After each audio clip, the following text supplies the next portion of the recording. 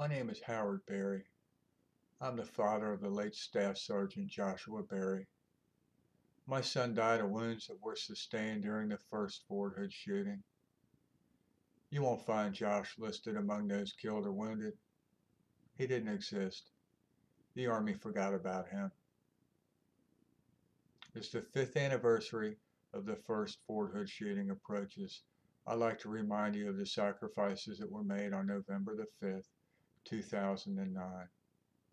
Nidal Hasan murdered 13 and wounded 32. Did you know that men and women from 23 different states were killed or wounded? Did you know the shooting was classified a random act of violence in the workplace? Did you know the victims and their families are still waiting for the truth to be told? Simply put, the shooting was a terrorist act. This has become a domestic Benghazi. Did you know that Senate Bill 1500 was introduced almost a year ago? It was written in an effort to honor the victims and to tell the truth. To date, there has been no support from any Democrats in the Senate, Senator Cardin included. I don't understand. I don't understand how Senator Cardin can turn his back on some of the very people who volunteered to stand between us and our enemies. Did you know one of the victims is from Maryland? Lieutenant Colonel Juanita Warman was one of the soldiers that lost their life. I don't understand how Senator Cardin can turn his back on one of his own constituents.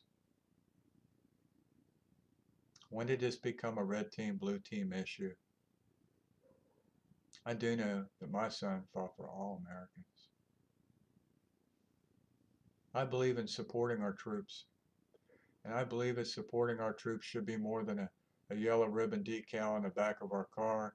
It, it, it should be more than thank you for your service to our country, or sadder yet, what people say to me. Sorry for your loss. I believe supporting our troops requires action.